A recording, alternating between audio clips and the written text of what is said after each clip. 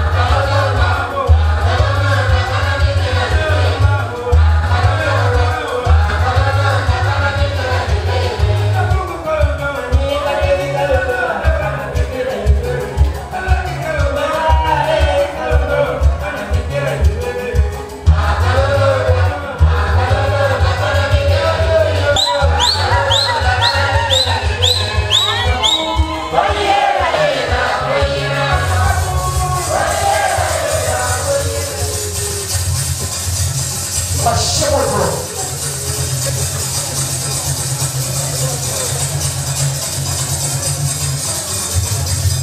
Tuendelee kutamba